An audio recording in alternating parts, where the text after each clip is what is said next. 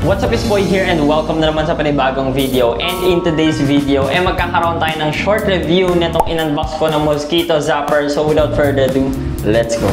Of course, mayroon siya dito ng UV light. Nandito rin yung kanyang ah, metal zapper.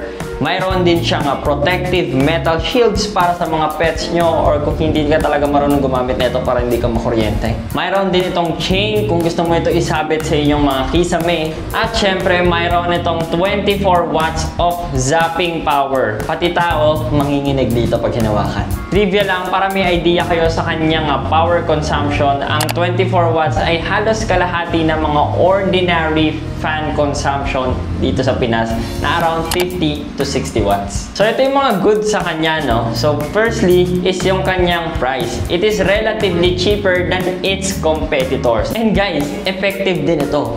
Very effective. Kita nyo naman dito guys. It catches flies, langaw, bangaw, lamok, at kung ano-ano pang mga bugs. Basta ilagay mo lang ito sa strategic place. Strategically, mayroong good airflow. Isa pa is yung kanyang durability guys. Ilang beses na tong naanggihan ng ulan sa labas ng bahay natin. Pero until now, it is still working as intended. Yun nga lang, mas excited pa siya kay Jose Marichan sa Pasko.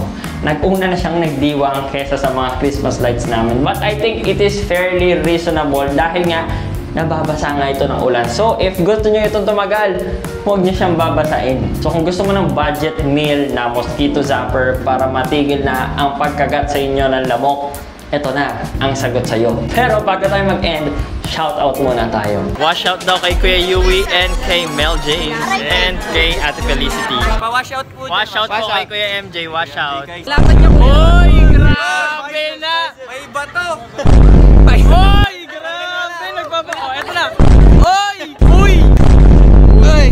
think hanggang dito na lang muna tayo. Pero if may questions ka pa dito sa Mosquito Zapper neto, eh do not hesitate to comment below and I will try my best para makapag-respond. Like mo na din tong video na to kung nahanap mo tong useful or kung nag-enjoy ka.